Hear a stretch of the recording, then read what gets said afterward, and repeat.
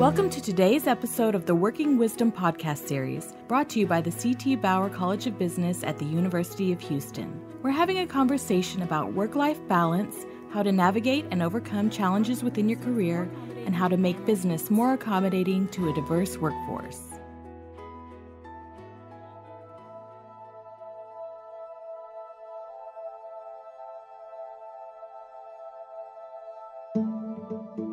My guest for today is someone who comes to mind when I think of the word resilience. She's someone I have utmost respect for. She certainly has a unique and non linear story. She came to Houston from San Francisco to marry Clifton or C.C. Williams, who worked for NASA as an astronaut. Yes, an astronaut. An astronaut's wife is who she is. Just three years after their move, and while she was pregnant with their second child, her husband died in a plane crash. He would have been the fourth man on the moon had he lived. While her two daughters were young, she stayed in Clear Lake and worked in real estate. She is Beth Williams. Beth Williams in 1993 and with a friend by the name of Natalie Karakulko, an interpreter for the NASA Apollo Soyuz test program, the two women co founded Tech Trans International, a company that was going to provide Russian translation and language instruction to NASA for the US Russian space program. Two months after starting the company, Beth's partner, Natalie, was killed by a drunk driver. It doesn't get any more non linear. This company, TechTrans International, has grown from five employees to more than 200, with offices, of course, in Houston, but also in Russia, in Jordan, in Azerbaijan, Georgia, Kazakhstan, Uzbekistan, and Colombia. Beth was named Ernst & Young Entrepreneur of the Year in 2011 and was part of the Houston Business Journal's Women Who Mean Business. Yes, Women Who Mean Business list as for profit businesswoman of the year in 2016. She is someone I have tremendous respect for. So, with that, my first question to you, Beth, is how do you do it? How did you do it? Was there something in your upbringing that helped you develop this resilience muscle? I think it was a drive. Growing up, I was allowed to be free, to explore, to. We lived out in the country on the river, and we, we were just allowed to run free. And I think having that was a good way to start. But I remember when I was very little, probably four, my mother would come. I was digging on the beach in the sand all the time, and she finally said, What are you doing? And I said, I'm going to China. I don't know where it came from, but early in my life, I had this thing about I must go. and it seemed like I was preparing all that time to leave that nice little town of New Bern to get out into the world siblings? How many siblings did you have? Were they like oh, you? I had five uh, three brothers and two sisters. Okay. Yes. And were they similar in terms of they all wanted to go? No. Okay. They've taken different paths. Okay. And you were a professional water skier and aquamaid at cypress gardens theme park in florida. Yes. What was that like? That was wonderful. You know i, I had left college to go there and uh, it was a it was the first time I'd ever left home, first time I'd been anywhere, and I wound up in this magical garden. And I had been water skiing all my life, so I qualified for their program. So we would we would ski in shows every day, four shows a day, and uh, we did a lot of modeling for Jantzen bathing suits and boats and motors and every anyway it was a lovely charming thing but after two years it got terribly boring and I needed a change. So I packed up my car, and one, another young lady went with me, and we drove out to San Francisco. Did you know what you were going to do? I had no clue, but it was exciting. and uh, I got a job in a bank, and we got an apartment, and we just moved on from there. And she left after about three months, and I met another lady and moved in with her. And I stayed out there for about six years. CC, how and when did you all meet? I met him when I was in college, and he was right out of flight school. So back in New Bern, I think we were engaged four times. I just wasn't quite ready. I just needed to see what was out there and really find out who I was. And uh, finally, when he was applying for the astronaut program, he said we had to get married because they'd never had a bachelor. And I told him I wasn't going to take that on my responsibility. Go do it and we'll talk. So he made it. and I came here to marry him. Wonderful, wonderful. You know, listening to you, it seems like if I think about how we're raising kids today, or how even us, how, how do we live life? We don't leave the home without a cell phone, our GPS, no. our calendars. Um, we worry about kids going too far from the home. Wear your helmet, and I'm all for it. You know, seat belts. Are we too risk averse? I think we're dumbing down the country, quite frankly.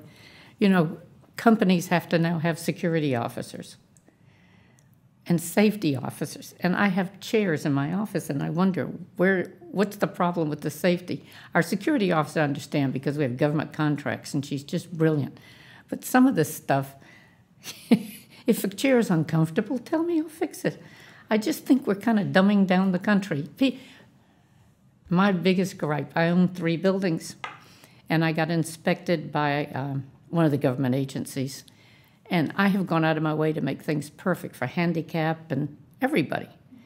And I passed the handicap great. And then he looked at my water fountain and he said, It won't pass. And I said, It's low. It's at a level for a wheelchair. And he said, Not if someone has a sore back. You have to put in another water fountain. And I said, If they got a sore back, tell them bring a bottle of water. Stay home, go to a chiropractor. Why does that affect my water fountain? So it would be, be a couple hundred thousand dollars to retrofit these buildings. So I said, I have the solution, and I turned it off. And he said, That'll do. that is that is so, so. I think we're kind of overcompensating for people. Right. And do you see that you know you have offices uh, literally all over the world and do you see us at a disadvantage when you when you travel abroad and you see what's happening in those countries no i you know i really well what i can't even go there but but i don't in these offices we hire local mm-hmm. and we use the same procedures we use here and we give people it's your baby do it call us if there's a problem and people people seem to want responsibility. They want to feel like they belong and that it's theirs. And so it's the same thing works in our office. You give people a task and that's theirs. And don't micromanage. And that's I think that's been our success. Ownership. Yeah. I mean we call and we praise them and we send them you know, everything that goes good we acknowledge it. And it really works well that way. So you're you've been married and you have you're on the way to having the second child and you lose your husband. But you picked up and I you did. actually started a company. Talk us through that whole experience. I did. It was i figured if i could get through that i could get through anything. But the main thing was i was pregnant and i didn't want to fall apart because i didn't want to take a chance to lose her and uh, so I just kind of held it together. And once she was born, it became a happiness. You know, it was a, whole, it was also I succeeded at something really nice. You know, and uh, I just kind of went on from there. But I was determined that they would know him, and it was kind of difficult here because we didn't have family. But his family was from Mobile, so we became extremely involved with his mother. And so the girls have a real keen sense of who he was. They've been to his hometown a lot. You know, they know people, and I think it's been a good thing for them to have that tie with him. So friends and family support. Yes. Okay. And what made you decide when you and Natalie worked together? What what was it that prompted you to think about starting your own company? Because that was pretty unusual, right? It is, but I'm kind of a gambler. and I looked at the thing and I thought, I don't see how we can lose with her because she's the one with all the knowledge. And my job was going to be put it together, borrow the money, get things rolling. And I knew how to do those parts. And so it was it seemed pretty easy. So we wrote the unsolicited proposal and they put it out for bid and we got people to help us and we won. We won because we had her. It wasn't I was the unknown factor, you know.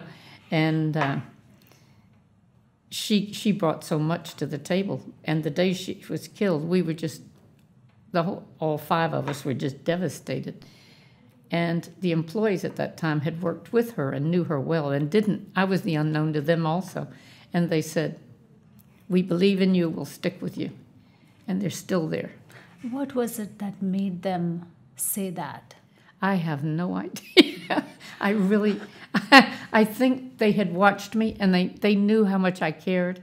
And I think I had already sort of seen that how much I cared. And I think that was probably it. I hope that was it. Yeah. Something did because they stayed. Right. And it's now grown to 200 employees. Yeah. And, yeah, that is that is so amazing.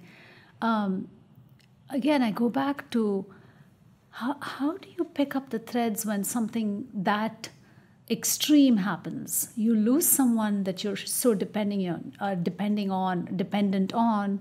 Emotionally, it was your husband, and Yeah. at a time when you were expecting a child, and then your business partner, who was really an inspiration to the founding of this company. Um, when these things happen, most people give up. And I go back to, and I know I'm sort of repeating myself, but what is it you do? Is there something you do on a daily basis to really say, I'm going to deal with this?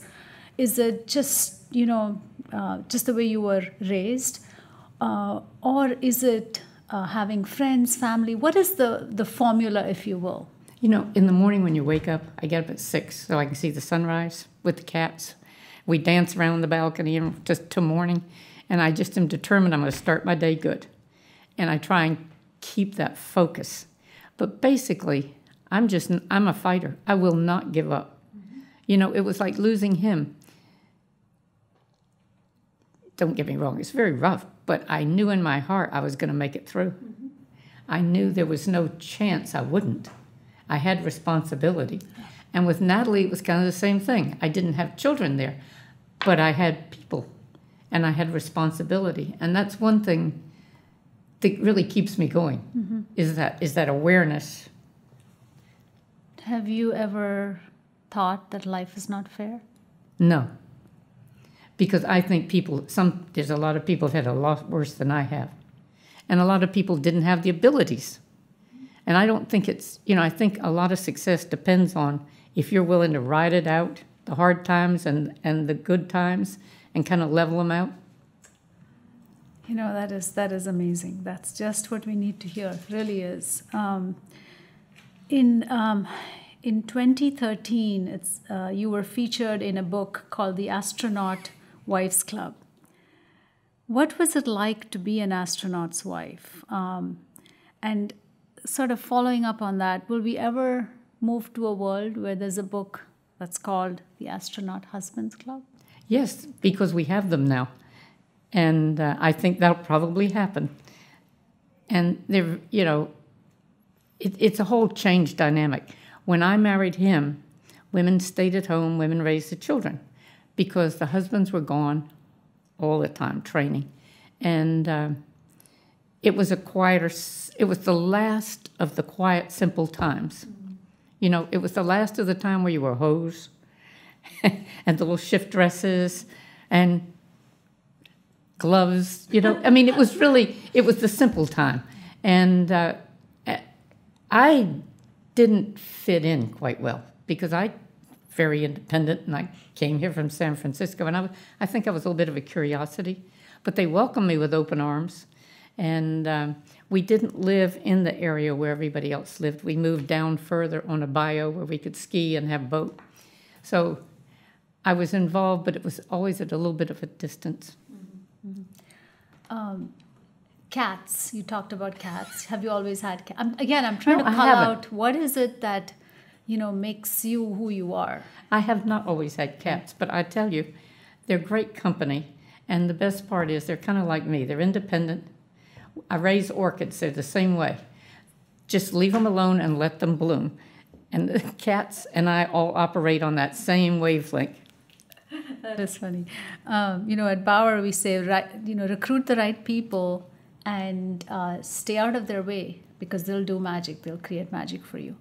Um, we're going to take a short break and come back with a message from our sponsors. Bauer College's executive education program is training business professionals and leaders to tackle the challenges of tomorrow. Courses in consulting, strategy, analytics, project management, and more led by Bauer's award winning faculty. Find open enrollment programs at bauer.uh.edu/slash exec. And we're back. And I am with Beth Williams, wife of an astronaut, founder of Tech Trans International, fighter, successful businesswoman, and cancer survivor. Five times. Five times. I, I am the poster child at MD Anderson. No, it's been, it's just another one of those things that hit you. It started when the girls were very little and it was thyroid cancer. And I didn't know what all that meant. It was a little scary. And I, my mother in law came and I got through the surgery, I got through all the treatments, and I just moved on and forgot about it. And they were growing up and we're doing great and life is good. And it hit again. And uh, was colon. And then that was twice. And we got zipped through that. And then breast. So I, ha- I, I'm all the colors of the rainbow on those bracelets. and and we got they, they were grown by then. They came in for that, and uh, and then the last one was kidney. But I tell you, I am a true believer in MD Anderson, and I'm sitting here, and it it it's not been a bad experience. It's been you know it's been painful at times, but you just get over it. You make it sound easy and simple, but I know it cannot have been. You have choices in life. You can be miserable or you can be happy. You can hurt or you can choose to ignore it. I choose to ignore all that stuff. I, I just figure, I go to MD Anderson, let them do their thing. Don't bother me. I've got other job. So it's it's almost like the the job and the focus on something else keeps you grounded. Yes, and so you almost like you want a problem in another dimension to sort of level it off. exactly. Nice, nice. And you know, the remarkable thing, just listening to you, Beth, is that all the stuff, the research on leadership and success, it's the Beth Williams uh, uh, hormone, as I call it, or gene, or whatever, because it's really about not not. It is education and you know or what you're raised with, but it's really that resilience to not give up, and um, It's your heart. It's, yeah, it's, yeah. But when you are um, down about something, something's happened. Is there something you do? Listen to music, pray, uh, meditate, uh, eat uh, uh, Oreo cookies. I don't know. Is there Yeah, something? Oreo cookies. I mostly I talk to myself. When I have a bad day, I come home. I don't turn on any lights. I don't turn on any sound. I keep the house quiet. The cats and I walk out on the deck, and hopefully the moon's there. You know, and I just I don't answer the phone. I turn it off. I just relax. And then the next day I'm ready to go again wow. because I'll, usually in that kind of a f- area i can resolve whatever problem it was or at least make a plan You need that emptiness to I do. create uh, I do. capacity. I do. Yeah. Wow, that's amazing. Switching gears a little bit, you've been a speaker, a mentor to our students at the Wolff Center, and I am, I just feel like those students are so extremely lucky, so extremely lucky. How do you see your role as a mentor, and did you have mentors? i think life was my mentor you know i think all the little things pulled together but this i i consider it an honor to be involved with them i just think those kids are amazing and i know they're the future And I truly believe in them, and anything I can do for them, I would do. Nice. You are also a donor to the Wolff Center, and in 2010, you established the Tech Trans International Scholarship Endowment. You and the folks, your colleagues that you work with, give to the fund, and we're so grateful for that. That fund has since doubled in value. And again, I cannot say how grateful I am because that goes to student scholarships. And in 2015, you renamed that endowment to be called the Dave Cook Scholarship Endowment in recognition of the program's director of mentorship.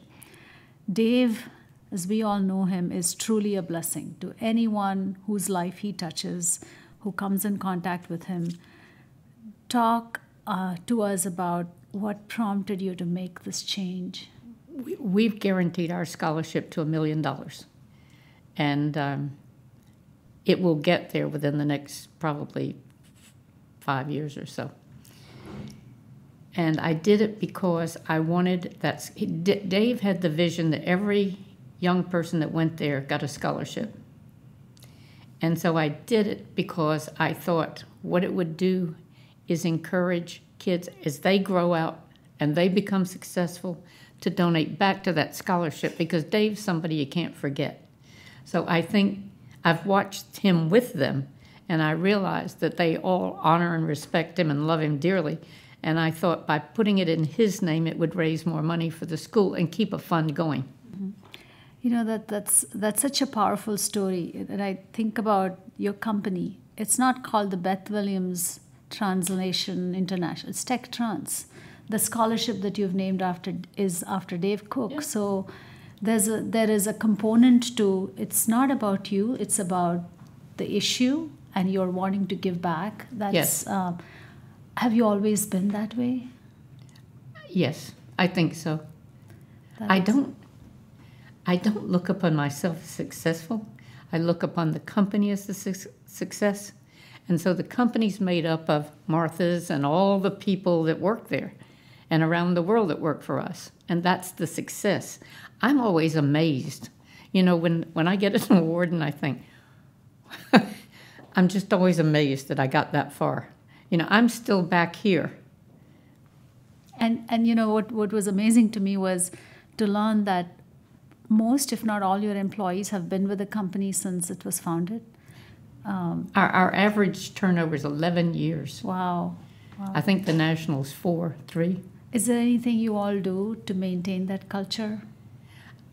Number one, we take an interest in people.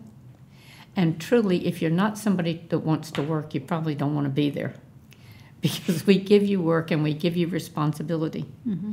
And, um, you know, we were voted top companies to work for in six years in a row. And uh, it's been a, I, I don't know what keeps them, but I know that I'm, I'm one of those people that drives them crazy. I'm walking around all the time. You know, I'm chatting. I'm, you got a minute? How's it going at home? What's, you know, I do all the things HR tells you shouldn't do. but I'm interested and I genuinely care. And I think that makes a difference. I love that. I love that breaking the rules uh, characteristic. And you've really sort of uh, validated everything we try to do here. So anytime, uh, you know, in the future someone says, why are you doing that? Oh, Beth Williams told me to do that. That's so, right. Just yes, tell them. I will. if you had one message to share with our students, what would that be? Just believe in yourself, trust others, and move on. Nice. And going back to the earlier question about, you know, we live in an interesting world. Um, just things happening, just very different from probably the way in which many of us were raised, uh, if that's the right word. Um, if you were queen of the universe, what would you do to change the world? Abolish egos. Love that. I love that. Could not agree more on that. Beth Williams, entrepreneur, wife, mother, mentor, donor, leader, and friend. Thank you.